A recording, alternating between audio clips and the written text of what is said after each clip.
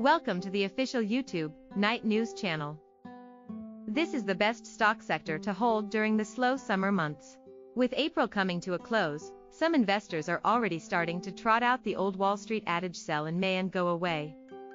The idea is that gains are generally worse in the summer months versus the rest of the year. But if history is any guide, it's probably best not to sell everything. Case in point, consumer staples. Since 1990, it has been the most consistently positive sector from May through October, according to a CNBC analysis of Kensho, a machine learning tool used by Wall Street banks and hedge funds to analyze trading scenarios. Consumer staples have posted an average return of more than 4% and traded higher 79% of the time during the summer months over the past three decades.